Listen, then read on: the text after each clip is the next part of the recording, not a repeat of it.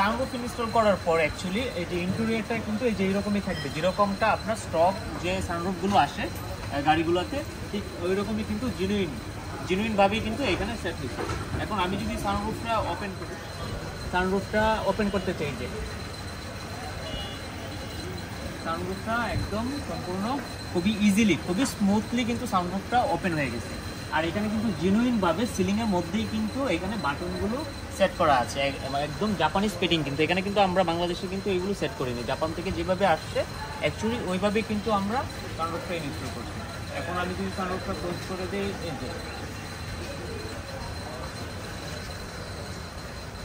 এই যে, সম্পূর্ণ ক্লোজ হয়ে গেছে। এখন এটা যদি আমি আপ ডাউন করতে চাই সানরুফটা তাহলে সেক্ষেত্রে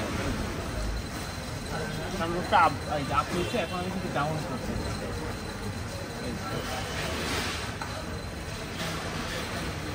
এই সম্পূর্ণ ডাউন হয়ে গেছে।